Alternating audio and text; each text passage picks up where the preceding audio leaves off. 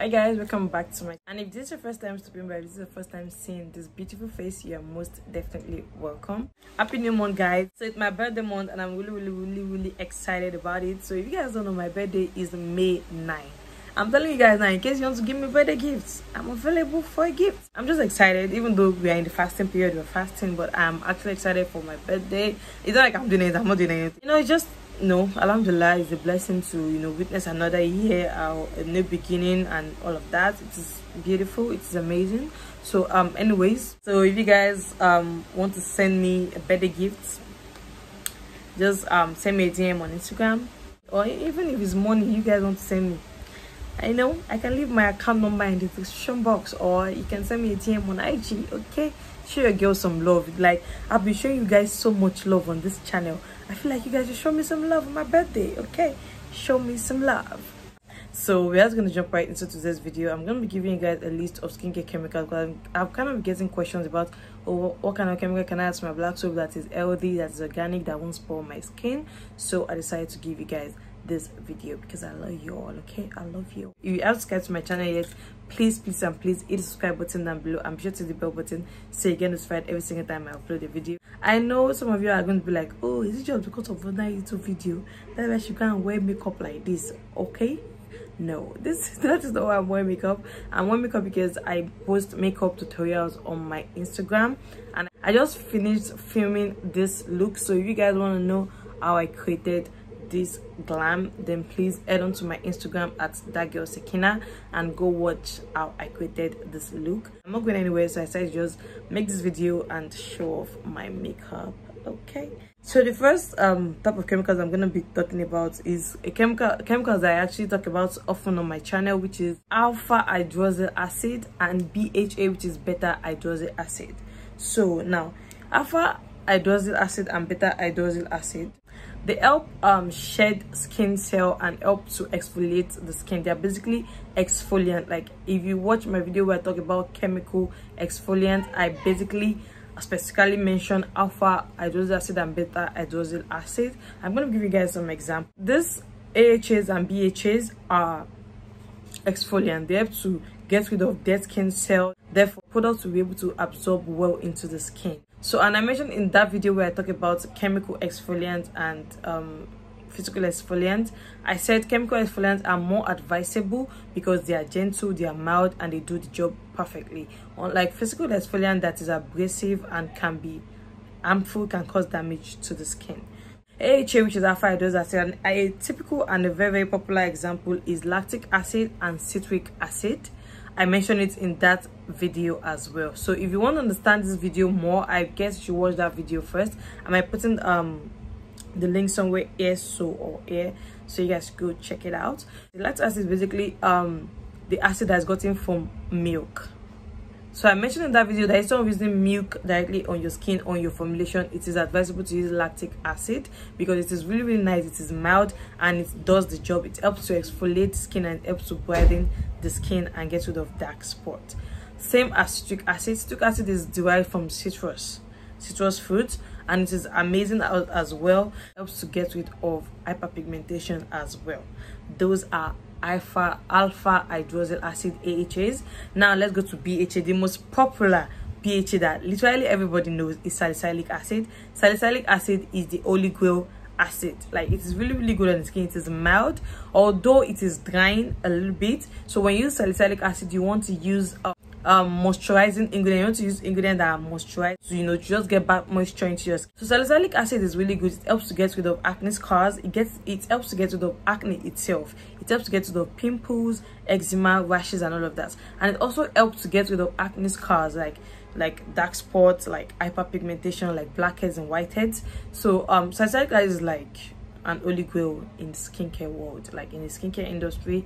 Salicylic acid is like one of the kings you know chilling you get me? So that's basically what i'm going to talk about on ahas and bha just that ahas and bhas are exfoliant. They help to get rid of dead skin cell shed dead skin that is on the surface of the skin thereby allowing your skin to breathe allowing new product to be absorbed really well into the skin thereby you know fresh glowing skin okay? If you're using lactic acid you can use lactic acid in your moisturizer your face cream your oils your serums and all of that. You can even make a lactic acid toner. You can make a lactic acid serum. They are really really nice. It comes in every kind of product. Same with salicylic acid. You can use them as well in any product. The second um set or the group of chemicals i'm going to be talking about is buffers. Buffers are basically chemicals that are used to balance or neutralize the ph level of your product if you saw my video again where i talk about ph and ph balancing i have that video. If you are new here please check out all my other videos so you can always catch on when i make all these videos because i always refer to my past videos. So if you want to understand my channel you have to like kind of like watch my videos of subsequently so you get the gist. So buffers are basically like i said they are used to neutralize your um product. I mentioned in that video where i talk about ph balancing that whatever skincare product there is actually water-based skincare products has to be balanced the ph has to be balanced. In that video i broke down everything ph of the skin ph of your product ph of product should be between 4.5 to 6 that kind of a thing. I i mentioned everything in that video. So buffers are basically um chemicals or solutions that are used to balance your ph. Like if you have a product and the ph is too high we have a buffer that you use to reduce the pH to the normal pH. And if you have a product that you just finished formulating and you test the pH and the pH is too low, that there's a buffer that you can use to neutralize the pH or increase the pH. Now, um, examples of buffers are sodium bicarbonate, which is baking soda. So baking soda is used to increase the pH of your formulation if the pH of your formulation is too low you can use baking soda to increase the pH of your formulation. Another example of chemical that you can use to increase the pH of your formulation which is a buffer is lye solution. Lye solution is basically a solution of sodium hydroxide and water. So that is also another chemical that you can use as a buffer to increase the pH of your formulation. Now, still talking about buffers and still talking about pH balancing. Another kind of chemical that you can use is the chemical that I mentioned before, which is citric acid and lactic acid, which are AHAs.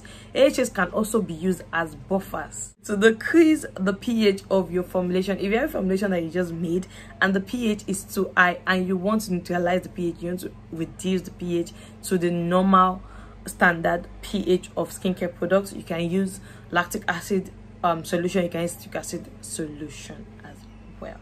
I hope you guys are getting along and you guys are understanding what i'm talking about. Now moving on to the next we're gonna move on to skin lighteners i know that this is the one that a lot of you guys are here to you know to hear and to tap into. Skin lighteners um skin chemicals that help to lighten the skin and all that jazz. You guys have been on my case on this particular. Basically skin lighteners are products that are used to treat the skin to brighten the skin to lighten the skin organically and in a healthy manner. They're not like ash chemicals that would you know all these bleaching chemicals and all of that no. These are chemicals that will help you to lighten and brighten basically um to lighten your dark spot hyperpigmentation maybe um sunburn to help to lighten sunburn or maybe you've gone through stress and your skin is getting a little bit you know dark you know what i'm talking about. If you are someone like me when i'm too stressed my skin gets like become a little bit dark. So these are um are chemicals um that help to you know rectify that problem. We have alpha um alpha arbutin we have the kojic dipalmitate we have sepia white powder we have snow white powder.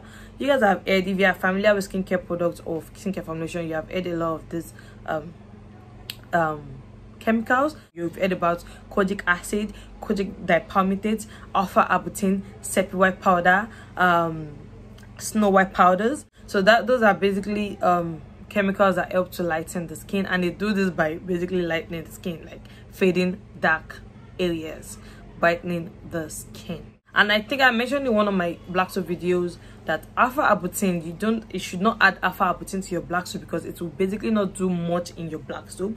The other formulations the other ingredients in your black soap will kill the work of alpha arbutin so alpha arbutin is best used in water-based products like um moisturizers um you know cream body cream face creams and all of that. Like alpha arbutin would work wonders in creams. While for black soap you can either use kojic dipalmitate you can use sepia white powder you can use kojic acid and i also warn against kojic acid because kojic acid is not very stable so you can actually lose stability in your formulation. So instead of using kojic acid in your formulation i would advise you use kojic dipalmitate which is also called kojic dip.